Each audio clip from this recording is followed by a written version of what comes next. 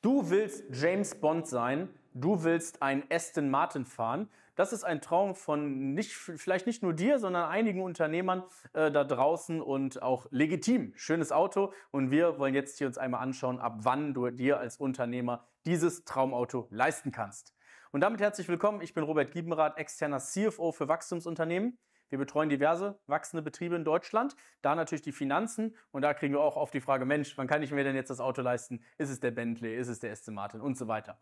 Wir wollen den Aston Martin heute mal betrachten und schauen uns hier an, ab wann das für dich als Unternehmer möglich ist. Paar Disclaimer und so weiter vorab. Also, wichtig ist, wir sprechen hier von Wachstumsunternehmern und Unternehmerinnen. Das bedeutet, du hast eine Firma, die sich im Wachstum befindet und die auch weiter wachsen soll. Ich rede hier nicht vom Solo-Selbstständigen, der jetzt hier äh, 10, 20, 30.000 Euro alleine macht und das auch schon die letzten 10 Jahre konstant gemacht hat. Da zählen ein paar andere Spielregeln, dafür berate ich explizit nicht. So, ich berate Wachstumsunternehmen und dafür zählen die Regeln, die ich dir jetzt hier mitgebe. So, wir gucken uns mal so ein Aston Martin an. Wunderschönes Auto. Wir gehen jetzt hier mal zum Beispiel von dem Klassiker, dem dieser DB, DB11 ist das aktuell zum Beispiel. Und dann hast du hier so ein DB11 und der hat einen ungefähren Preis, Kaufpreis, Kaufpreis, so, weißt du ja, ne? Ausstattung, wenn du hier noch das von schwedischen Jungfrauen vorgekaute Leder haben möchtest äh, an, dem, an dem Lenkrad, dann vielleicht noch ein bisschen teurer. Aber ansonsten hast du ungefähr äh, 220k ist der Kaufpreis von so einem Auto. Das heißt, du hast eine Leasingrate von in etwa so 2800 Euro im Monat. So, das ist so in etwa die Faktoren. Wie gesagt, das kann auch mal bei 3,7 sein, es kann auch bei 1,7 sein, je nachdem, was du da so, so hast, wo du die findest. Aber das jetzt mal so als Beispielwerte hier an der Stelle, was so ein Auto nun mal kostet, wenn du so einen schönen Sportwagen, eleganten Sportwagen haben willst. Ne? Ähm, und das ist auch ans, insgesamt äh, das, was, was du dann da auf den Tisch legen willst. Ob jetzt Leasing das Richtige ist für dieses Auto, weil es ja so ein wertstabiles und einen hohen Wiederverkaufswert hat, das kommt individuell drauf an. Es gibt ja auch Spezialleasing-Anbieter, wo du es dann privat rauskaufen kannst. Dann kannst du da wieder steuerlich was gestalten. Darum soll es jetzt nicht gehen. Aber der Preis ist ja ungefähr das gleiche. Wenn du finanzierst, hast du halt die Abschreibung. Wenn du es privat machst, hast du ja auch ein paar Themen. Aber es geht jetzt darum, dass du mit der Firma das Auto einfach liest, was dann die simpelste Option an der Stelle ist. So. Jetzt gibt es eine Regel.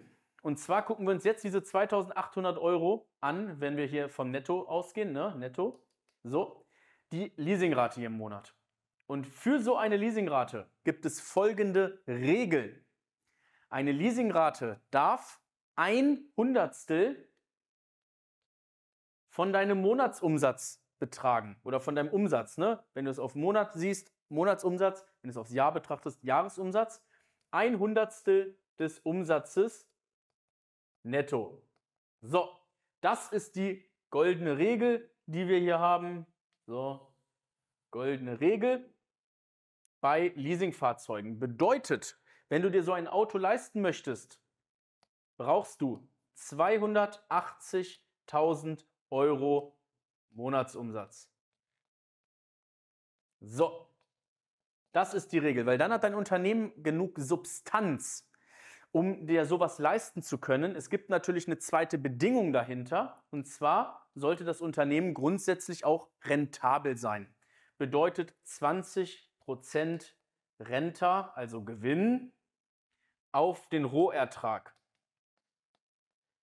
Bei Dienstleistern ist der Umsatz meistens gleich der Rohertrag. Bedeutet, du hast keine Materialkosten in der Form. Wenn du E-Commercer bist, für 200.000 verkaufst, davon ist eine 100.000 Ware, hast du nur 100.000 Rohertrag. Damit zieht sich das da drauf. Also 20% Rente auf den Rohertrag solltest du machen. Das wäre dann in dem Fall entsprechend sowas wie 56k äh, Monatsgewinn, also EBIT, Earnings Before Interest and Tax, also das Vorsteuerergebnisgewinn. Ne? So, das musst du machen, damit, sich, damit du dir dieses Auto in Ruhe, entspannt leisten kannst, mit gutem Gewissen und unternehmerisch vernünftig das Auto fahren kannst ohne hier zu früh auf dicke Hose zu machen, ohne hier dein Business zu gefährden, weil sowas, wenn du dir das gleich am Anfang holst, ja, das war aber mein Traum und äh, wenn ich 50k im Monat mache, wollte ich mir das holen. Ja, das ist aber dumm. Das ist ein Mitarbeiter. Das ist ein Gehalt von einem Mitarbeiter. Was du hier fürs Auto, wir sind ja noch nicht mal, wir haben noch nicht mal Sprit, Versicherung und so weiter drin.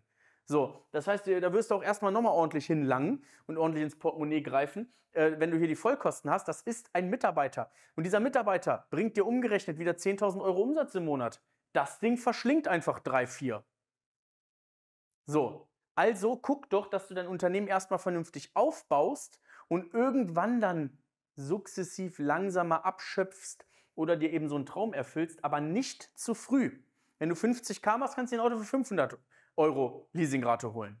So, da sind wir eher im Golfbereich unterwegs sozusagen. Aber hier guck bitte, dass du vernünftig agierst und dir ab 280k kannst du langsam überlegen, dir halt sowas zu, anzuschaffen. Dabei bitte 20% Rentabilität auf den Rohertrag bewahren, ne? weil bringt nichts, wenn du 280k machst und dabei 270 Verlust. So, dann haben wir nichts gewonnen. So, du solltest hier schon rentabel sein, aber hier hast du dann genug Substanz. Deswegen stellen wir nicht nur auf den Gewinn ab, sondern auch auf den Umsatz, weil hier genug Substanz da sein muss. Das ist die Regel dahinter. Dann kannst du dir so ein DB11 in dem Fall hier organisieren für 220k Listenpreis ungefähr. Ne? 2,2800 äh, Euro monatliche Leasingrate und dann kannst du dir guten Gewissens als Unternehmer eines Wachstumsunternehmens deinen Traumwagen leisten. Wenn wir dir dabei helfen sollen, dass das schnellstmöglich erreicht wird, dass die Rentabilität vielleicht hier auch noch mal ein bisschen höher ist als 20 Prozent, ähm, dass die Liquid auch stimmt, dass das alles sauber funktioniert, dann melde dich gerne. Wir können dein externer CFO werden, sowas uns anschauen, aber vor allem erstmal deine deine Situation beleuchten. Dafür gerne auf www.rg-finance.de gehen, Erstberatung vereinbaren, dann können wir dazu miteinander sprechen. Und wenn dir dieses Video gefallen hat, gib dem Ganzen einen Daumen hoch.